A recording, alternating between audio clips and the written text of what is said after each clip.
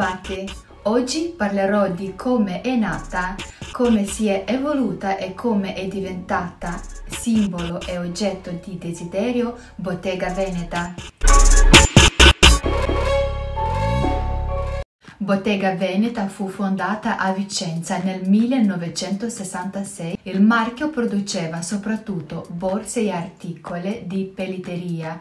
Quello che ha reso la Maison famosa in tutto il mondo è l'intrecciato, una tecnica che ha inventato e che consiste nell'intrecciare una con l'altra piccole fettucce di pelle fino a formare un vero e proprio tessuto uniforme per le borse e altri prodotti di pelletteria.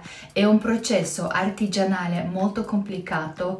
Già negli anni 70 Bottega Veneta conosce un rapido successo grazie anche allo slogan quando le tue iniziali sono sufficienti e il brand sbarca negli Stati Uniti dove riesce a conquistare una clientela importante. Nel 1975 iniziò a realizzare anche scarpe e ai fine degli anni 90 vestiti. Successivamente ha lanciato anche le linee di profumi, gioielli e cose per la casa, sempre nello stile sobrio e lineare tipico dell'azienda.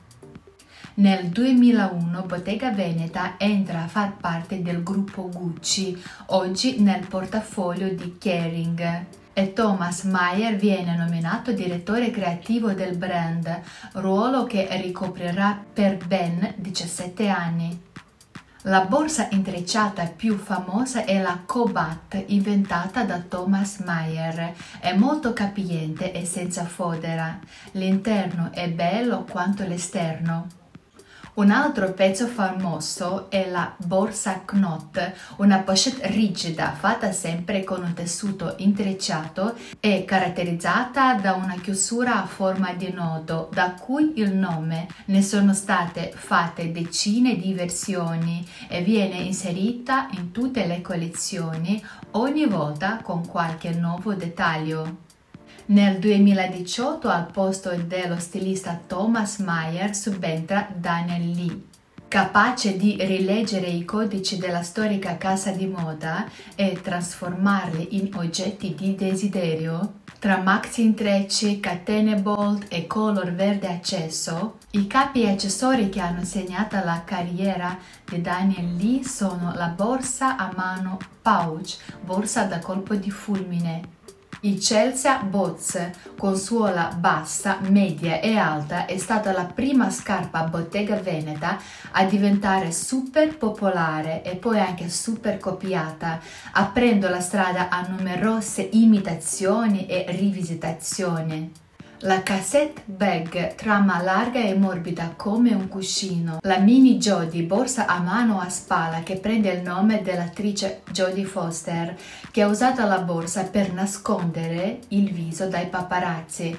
È diventata presto un must per le influencer e celebrity. Le Lido, questa scarpa è diventata subito riconoscibilissima. È uno dei accessori dal più grande successo commerciale disegnati da Daniel Lee. Dall'ingresso di Daniel Lee il verde bottega è diventato uno dei colori più iconici della moda.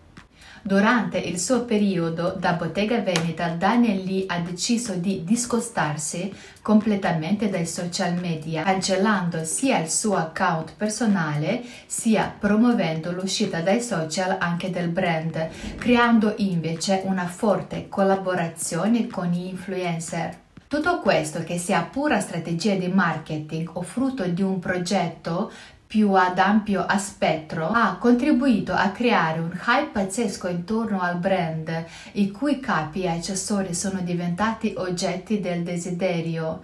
Con Daniel Lee, Bottega Veneta ha ritrovato il tocco magico. Nel 2021 Lee lascia la direzione creativa di Bottega Veneta.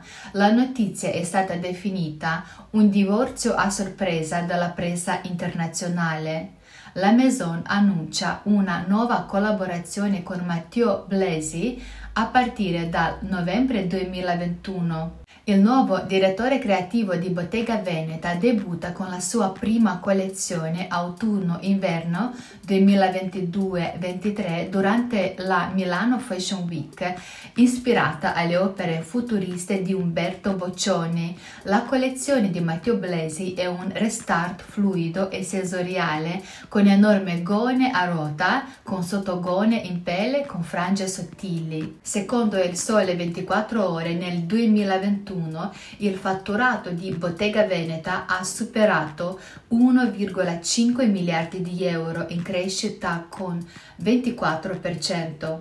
Per oggi è tutto, crea, cuci e indossa solo ciò che ti rappresenta. Ci vediamo al prossimo video.